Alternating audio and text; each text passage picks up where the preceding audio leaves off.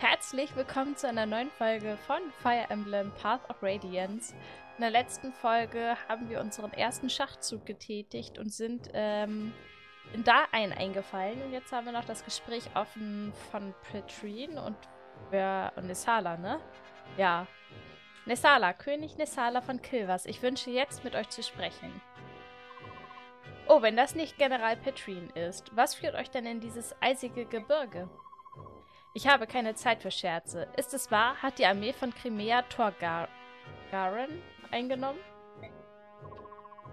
Auch wenn ich es hasse, es auszusprechen, ja, das scheint der Fall zu sein. Bah. Wie wird ausgesprochen? Kayache? Oh, das, das klingt falsch. Ich weiß nicht, wie man den ausspricht. du räudiger Hund. Sich von diesem bunten Haufen dieses Mädchens besiegen zu lassen, beweist nur, wie nutzlos er war. Sicherlich ist es nicht allein der Fehler des Generals. Man hat ihm gesagt, dass die Armee von Crimea schwach und Targaryen unbezwingbar sei. Und doch wurde er besiegt. Ich behaupte, da hat jemand unseren Feind unterschätzt. Meint ihr nicht auch? Was war das? Willst du da etwa da ein Beleidigen, Rabe? Es gibt Männer, die haben für weniger ihr Leben verwirkt. Da ein Beleidigen? Niemals. Kommt schon, General Petrine. Ich zähle hier lediglich die Fakten auf. Da muss ich ihm echt mal recht geben. Die scheint ein, äh, eine etwas verzerrte Wahrnehmung von äh, da ein, beziehungsweise von ihrer Kraft zu haben und scheint wirklich den Feind zu unterschätzen. Das sollte man eigentlich niemals machen. Wir sehen ja, wie es ausgeht. Egal wie die vorherigen Kämpfe beendet wurden, die Armee von Crimea wird hier aufgehalten. Ich werde persönlich dafür sorgen. Hm. Klingt, als hättet ihr die Bühne für eine glanzvolle Vorstellung bereitet. General Petrine, Kilvas wird auf immer der Seite von da einstehen, solange die Bezahlung stimmt natürlich. Wenn es dabei nur um Gold geht, wird unsere Freundschaft niemals enden. Aber seht zu, dass eure Vorstellung eu eurer Gage gerecht wird.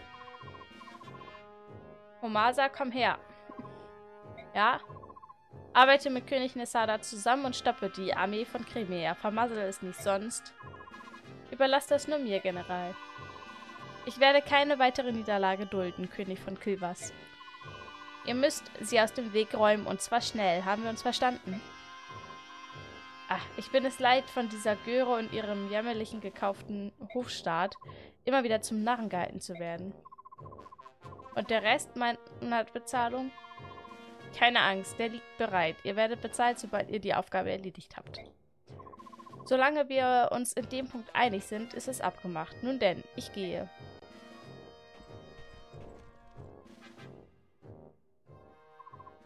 Räudiger Straßenköter. Selbst nach den Standards der Halbmenschen sind die Raben nur Abschaum.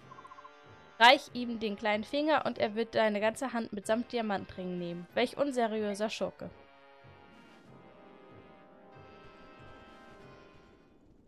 So, Petrine dampft ab. Ike, ich habe hier den Bericht unseres letzten Kampfes. Bonuserfahrung 270 haben wir bekommen. Neuzugang Ayuga, Tanit, Yanaf und Rayson. Und Soren war der Held. Ich habe, äh, also ist ein paar Tage her, dass ich aufgenommen habe. Konnte ich mich gerade gar nicht dran erinnern. Es gab keine Verluste und keine Schwerverletzten. Jeder hat sich hervorragend geschlagen. Das wäre alles. Wenn du gestattest, würde ich mich jetzt gerne zurückziehen. So, nächste Ausrüstungsfolge. Für alle, die das nicht sehen wollen, ihr könnt jetzt abschalten. Mehr mache ich nicht. So, wir fangen wieder mit den Infogesprächen an. Jana. Oh, ich nehme es mit jeder Anzahl von Gegnern auf, aber dieser Schnee ist eine andere Geschichte. Ich glaube, meine schönen Schwingen sind ganz vereist. Das hört sich nach Problem an. Willst du so fliegen können? Ja, sicher kann ich fliegen. Diese Schwingen sind ja keineswegs Dekoration. Sie bestehen aus Fleisch und Blut und Federn. Ich bin kein Tier, das in den Winterschlaf fällt, sobald es Winter wird.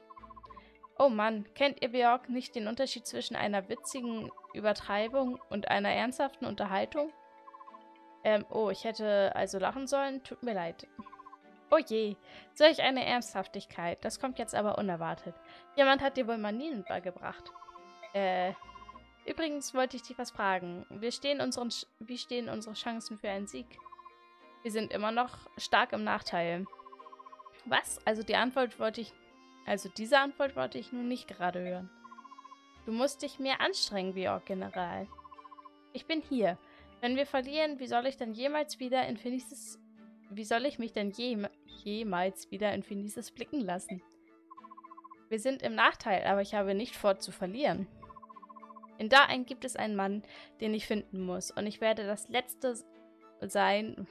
Und ich werde das... Ach so, was seine Augen sehen werden. Gut gesprochen. Ich wünschte, ich könnte das an die, junge an die junge Generation weitergeben. Zu Hause kenne ich einige Schwächlinge, die ich noch nicht einmal Falken nennen möchte. Ich würde sie zu gerne in ihre Eierschalen zurückstopfen und mit ihnen von vorne anfangen. Hey, ihr schlüpft aus Eiern? Äh, ich habe bildlich gesprochen, du weißt schon. Wie eine Metapher?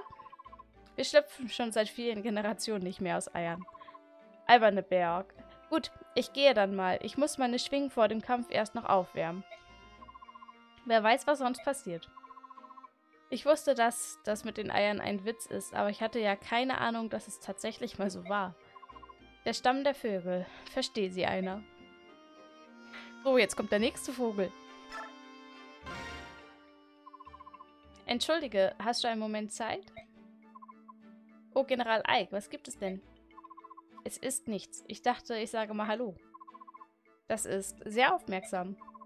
Ähm, euer König ist sehr großzügig und ich spiele hier nicht nur auf Rayson an. Er hat uns auch seine beiden Gefolgsmänner zur Seite gestellt. Womit haben wir seine Großzügigkeit verdient? Ich denke, das liegt daran, dass Rayson sich andauernd entschuldigt hat. Das habe ich mir zumindest gedacht. Oder bewerte ich das falsch? Ich weiß es nicht. Ich weiß nur, dass der König auch ohne unsere Hilfe überleben kann. Stimmt das? Das ist wirklich erstaunlich. Mir wurde der Titel eines Lords verliehen, aber ich kann diese Armee trotzdem nicht alleine leiten. Titania und Soren kümmern sich um all die kleinen Dinge, sodass, ich hier nicht das, sodass hier nicht das völlige Chaos ausbricht. Unser König macht nichts Besonderes. Jeder macht das, was er am besten kann. Das gibt, da gibt es kein Chaos. Er ist sehr vertrauenswürdig. Das ist doch völlig natürlich. In der Gesellschaft der Lagus werden die Stärksten zu Königen. Anders als bei den Björk ist das Königtum nicht an eine Blutlinie gebunden. Daher gibt es bei uns keine schwachen Könige. Entschuldigung, das war ungebührlich. Nein, ich sehe das genauso. Einen Regenten, einen Anführer aufgrund seiner Stärke anstatt seines Blutes zu wählen, ist viel sinnvoller. Definitiv. Immer wenn wir auf Benjans Truppen stoßen, greifen wir zuerst die Einheiten an, die einen schwachen Anführer haben und eliminieren sie. Die Waffen der Beor können sehr stark sein, aber nicht jeder kann damit auch umgehen. Da die Beorg auch ihre Generäle nach den Blutlinien bestimmen, sind die Fähigkeiten unausgeglichen. Das ist die Schwäche der Heere der Beorg. Und für dich, General Ai, kommt nun die Zeit, dich zu beweisen. Das ist wahr. Egal wie stark der Einzelne auch sein mag, wenn die Truppe es nicht ist, nutzt die Stärke gar nichts. Die Stärke einer Armee wird durch den Anführer und dessen Führungsstil bestimmt. Das darf ich nicht vergessen. Danke. Hm. Okay. Unterstützung. Das habe ich ja noch gar nicht so richtig... Ähm... genutzt, ne?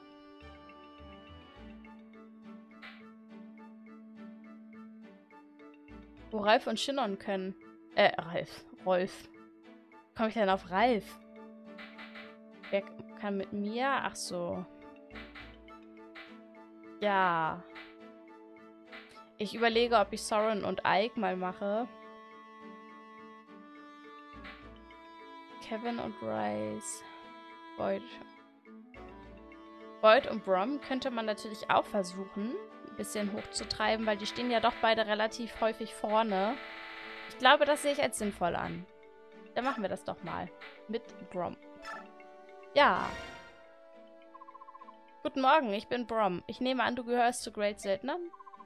Wenn das nicht der gefangen genommene Paps ist. Ich heiße Boyd und ich bin ein waschechter Söldner von Grail. Oh, großartig. Weißt du, du kämpfst ganz gut für so einen jungen Burschen. Jung? Na, hör sich das einer an. Guck dich doch mal an, Paps. Wir haben dich aus einem Gefängnis befreit und du bist noch immer fett. Wie kannst du nur so kämpfen? Mach deine Wampe dich nicht langsamer. Oh. Ah, sehr direkt. Schön. Oh, du hast recht. Beim Kämpfen ist sie in der Tat etwas hinderlich. Aber diese Masse hat mir sehr geholfen. Man braucht eine Menge Substanz, wenn man Esel und Flug zähmen will. Bist du ein Bauer? Das ist richtig. Aber ich mag gar nicht daran denken, dass mein dicker Bauch euch im Weg ist. Oh, jetzt fühle ich mich furchtbar. Oh nein, da Brom. Hey, nicht weinen. Paps, wir, wir können jetzt zusammen trainieren. Dann bist du schnell wieder fit. Wirklich? Meinst du das ernst? Das wäre großartig. Mach mich wieder fit, Boyd. Oh, meine Frau wird Augen machen. Herrlich. Sehr cooles Gespräch. Finde ich gut. Kevin und Oscar geht leider nicht. Ja, dann machen wir noch Ike und Soren.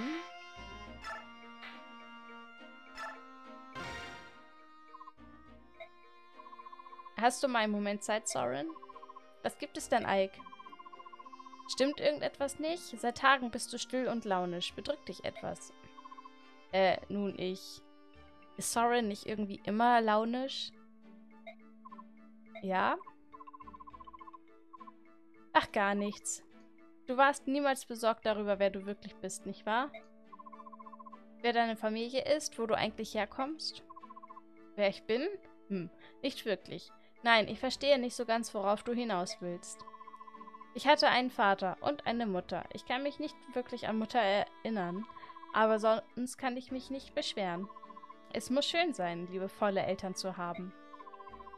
Jemand sollte über deine Kindheit wachen. Jemand, der dir hilft, die Person zu werden, die du werden sollst. Ohne einen Erwachsenen, der ein Kind bestärkt und unterstützt, weiß es nicht, auf welchen Pfad es sich begeben soll. Oder wer es wirklich ist. Hast du denn gar keine Erinnerung an deine Eltern? Nein, die Frau, die mich aufzog, war nicht meine leibliche Mutter. Und sonderlich begeistert war sie von mir auch nicht. Meine früheste Erinnerung an sie ist, als sie sagte, Warum ich? Die Welt ist ungerecht. Oder bleib mir vom Leibkind. Keine Liebe, keine Zuneigung. Sie hat sich aus einer Art Pflichtbewusstsein um mich gekümmert, das sie eigentlich gar nicht besaß. Als ich ungefähr vier war, kam ein Weiser aus der Umgebung vorbei und fragte, ob er mich bei sich aufnehmen könnte. Er sagte mir seltsam, seltenes magisches Talent nach. Ich erinnere mich genau an diesem Tag. Meine sogenannte Amme war beglückt, mich los zu sein. Mir kam es so vor, als wären sie in eine Art Rauschzustand verfallen. Sie hat von einem Ohr bis zum anderen gegrinst, als sie mich fortgab. Der Weise gab ihr Gold als Gegenleistung. Nicht, dass es nötig gewesen wäre. Oh, Soren, das wusste ich nicht. Der Weise war alt und wusste, dass der Tod schon seine Hand nach ihm ausstreckte. Sein einziger Wunsch war, sein Wissen an einen Lehrling weiterzugeben. Da die Zeit drängte, musste ich mich einem strengen Training der Magie unterwerfen. Wir arbeiteten Tag und Nacht, ohne eine Pause einzulegen. Ich hatte nicht einmal Zeit daran zu denken, wer ich wirklich sein konnte aber es war immer noch ein besseres Leben als das zuvor. Als der Weise zwei Jahre später starb, hatte ich viel über Magie gelernt. Vielleicht zu viel für ein Kind in meinem Alter. Als sich die Vorräte in der Hütte des Weisen dem Ende neigten, verließ ich sie und wanderte Tag um Tag, um Hilfe zu suchen. Als ich endlich in der Zivilisation ankam, wurde mir mit Ingrim etwas Schreckliches bewusst. Ich konnte nicht sprechen, nicht ein einziges Wort. Soren. Oh, ich konnte besser lesen und schreiben als so mancher der Dorfbewohner. Und ich verstand, was sie zu mir sagten. Ich konnte nur nicht sprechen. Daran war nichts zu rütteln. Die Frau und der Weise schleuderten mir meist nur Wörter entgegen und freundliche. Wörter, auf die ich niemals etwas zu erwidern brauchte. Darum, Soren. Was ist? Oh, bitte verzeih mir, Ike. Ich hätte dir solch einen Unfug nicht erzählen sollen. Soren, das ist kein Unfug. Das ist furchtbar.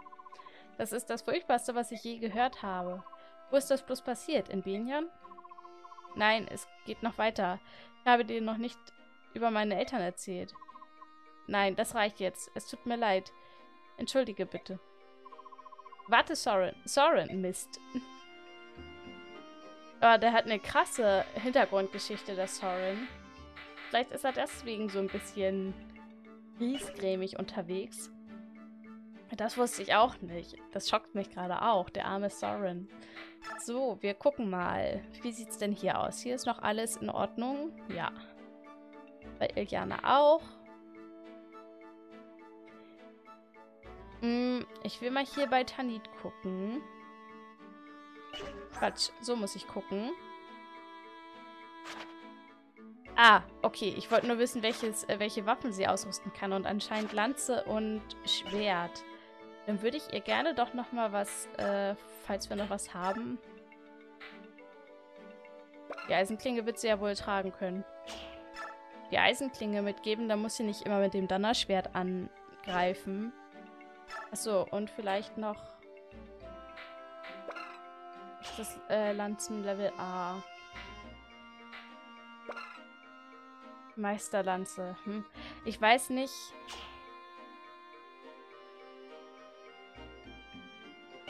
ob die bei ihr so sinnvoll ist.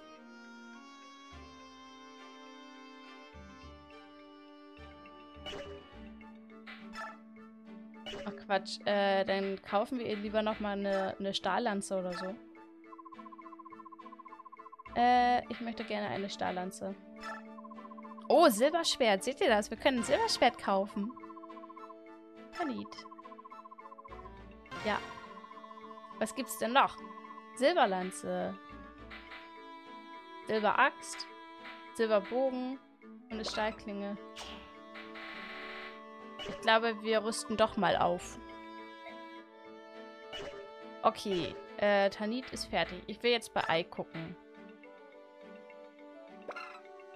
Quatsch. Erstmal, was er für Waffenlevel hat. B hat er. Das heißt, er wird Dings noch nicht ähm, tragen können. Aber ich würde gerne mal das Eisenschwert ablegen.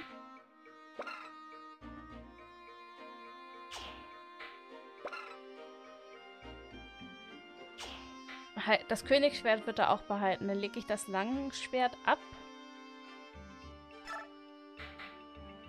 Ich glaube auch nicht, dass er halt so lange braucht, um äh, noch auf Waffenlevel Art zu kommen.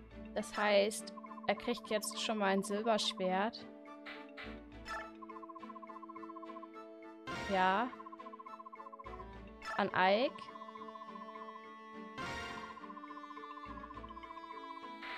Und dann würde ich ihm, glaube ich, gerne noch die Stahlklinge geben.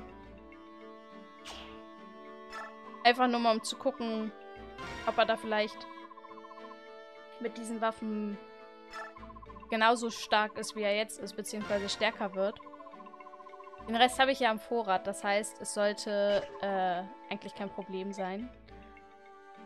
So. Iliana hat noch Elfendonner. Ich will einfach nur mal gucken, hat er vielleicht noch irgendwelche neuen Zauber oder so? Blitz. Lichtmagie.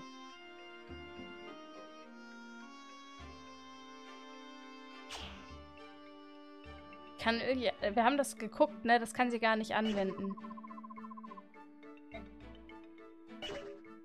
Bin ich der Meinung. Äh, Tanit ist fertig. Rice braucht einen neuen Heilstab.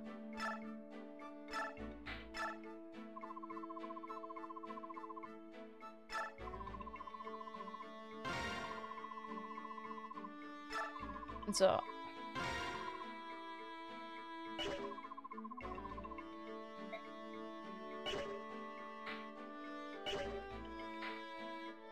Oscar. Oscar finde ich eigentlich so ganz gut ausgerüstet. Stahllanze hat er noch.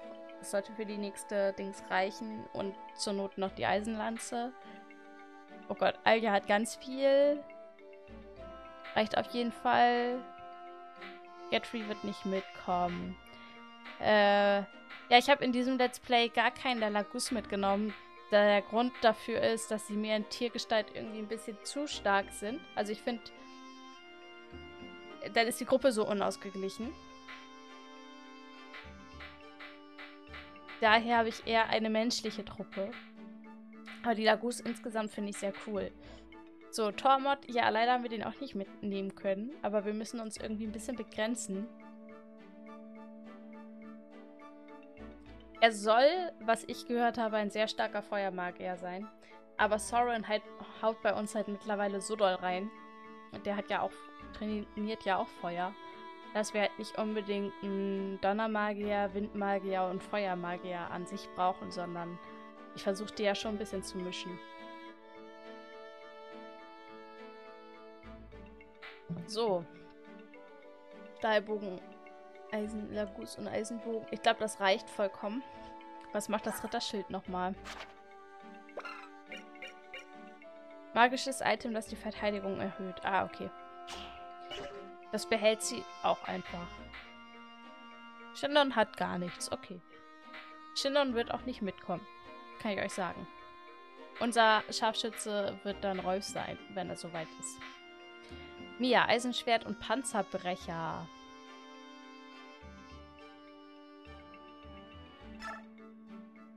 will mal gucken, ob wir noch irgendwas im Vorrat haben. Vielleicht das Langschwert. Dann kriegt sie das Langschwert noch. Rom, Stahllanze, Langspeer. Der kriegt... Ach nee, wir hatten ja keine Eisen... Oder? Hat er nicht mehr, ne?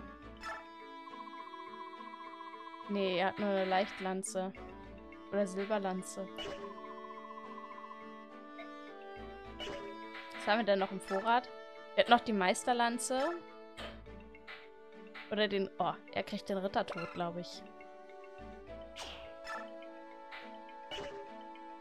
Kriegt er einfach mal. Ähm, so.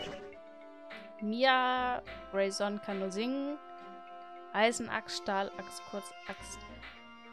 Die sind, glaube ich, alle noch nicht so weit vom Waffenlevel. Wenn die dann A werden, würde ich denen dann gegebenenfalls die Silberwaffen geben.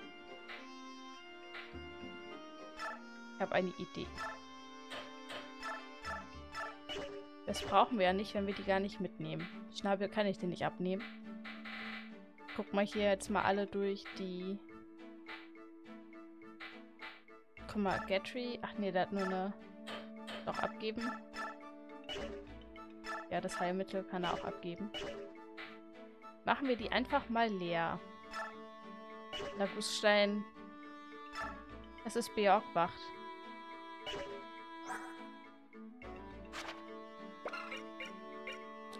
Äh, macht Spezialeffekte bei Beorg-Attacken unwirksam. Aha. Okay, nur für Lagus, das heißt, brauchen wir auch nicht verteilen.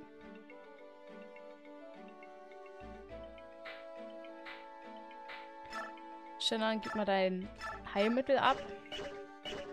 Ups. Das war einmal zu viel B gedrückt.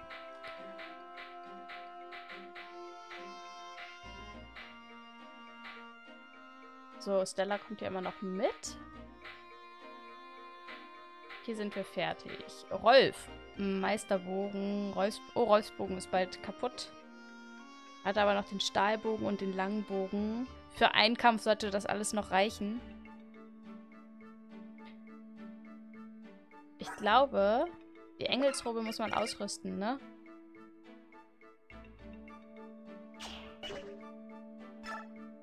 Ausrüsten? Ach nee, geht nicht. Okay. So, Sothe, gib mir deinen ganzen Kram ab, den du gekauft hast, sozusagen. Den du geklaut hast und nicht gekauft. Erholung. Vollständig, okay. Und Schweigen. Oh, Schweigen möchte ich gerne mitnehmen. Und Ingrim gibst du bitte auch mal ab. Ähm. Wer hat da noch Platz? Alja ist voll, ne? Alja ist voll. Wobei, Magieschild braucht man, glaube ich, nicht unbedingt. Dann kriegt sie lieber Schweigen mit. Wenn Schweigen hoch genau das ist, was ich denke, was es ist. Stab der gegnerischen Magieeinsatz verhindert. Genau. Will ich unbedingt haben, mitnehmen, nutzen. Wenn ich dran denke. Nee, den will ich schon gerne nutzen. So, hier ist fertig.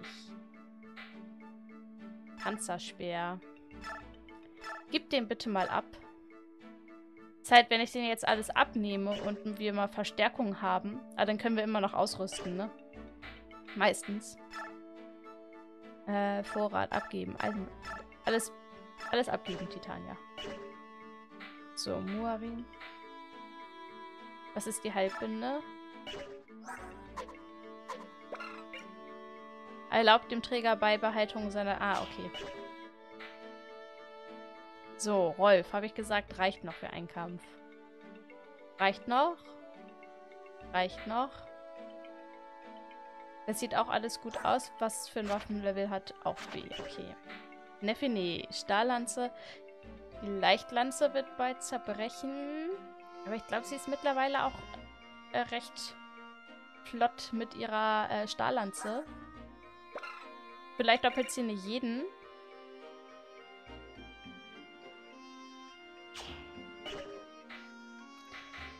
Aber das ist ja auch manchmal gar nicht so schlecht, weil wir ja auch mal ein paar Leute leveln wollen. Okay, damit bin ich zufrieden mit der Ausrüstung. Drill. Fähigkeiten.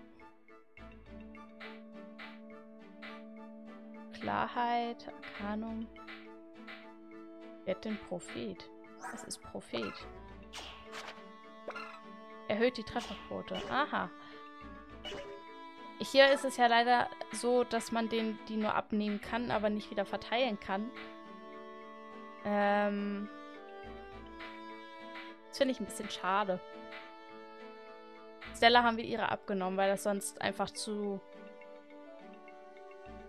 Die kriegt zu viel Erfahrung, die gute. Mia hat Vorteil, Brom. Haben wir was für Brom? Ingrim. Erhöht Wahrscheinlichkeit kritischen Treffer, sobald KP auf die Hälfte. Das wird bei ihm niemals passieren. Halbierte Treffer. Nein, er hat schon so eine schlechte Trefferquote. Void hat nur Energie. Verdoppelt den Effekt des Biorhythmus.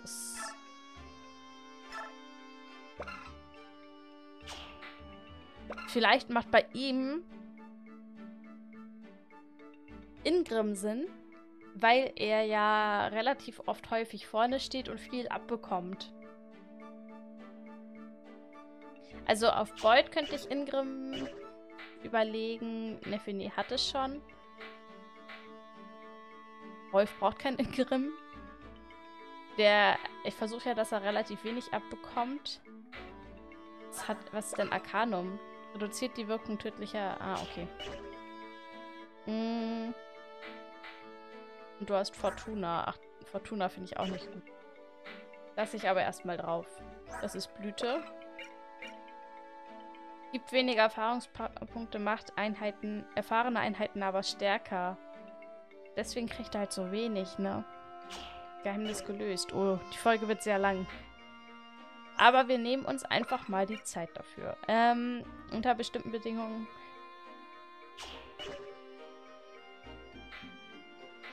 Wir könnten Soren auch mal ein Messer geben, ne? Ich glaube, Boyd kriegt tatsächlich noch äh, Ingrim. Das ist für mich das, was am meisten Sinn macht. Das ist Talion. Fügt dem Gegner gelegentlich... Ach so, okay. Ja, Boyd kriegt jetzt Ingrim. Mir fällt sonst keine Einheit ein, wo das Sinn macht. Äh, Brom wird halt niemals so viel Schaden bekommen. Mia hat Vorteil. Könnte natürlich auch noch Mia in Grimm geben. Dann wird sie aber ein richtiges Biest. Komm, Boyd kriegt das mal.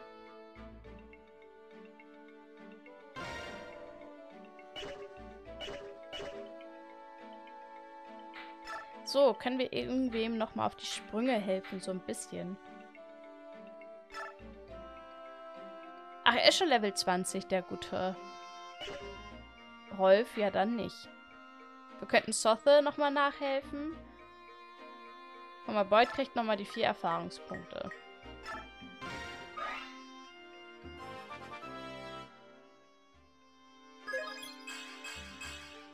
Stärke, sehr schön. Und Geschwindigkeit nochmal. Also Boyd ist bei mir echt stark geworden. Ähm, Nefini ist schon. Stella ist schon. Kevin ist schon 20. Mia ist schon 20. Rom? Muss kurz noch gucken. Ähm.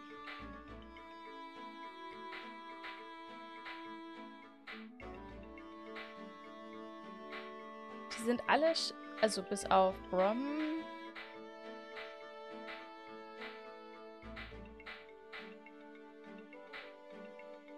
Boyd ist jetzt gerade 20 geworden. Ja, dann kriegt auf jeden Fall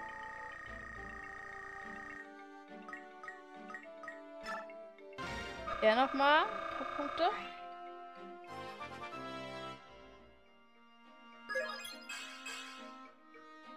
Stärke, Sothe, ich bin, bin beeindruckt. Ja, Geschwindigkeit und Fähigkeiten sind ja schon ausgemaxt. Da finde ich das ganz gut, dass äh, auf Stärke ein bisschen jetzt was verteilt wird. Und Brom sollte nochmal bekommen.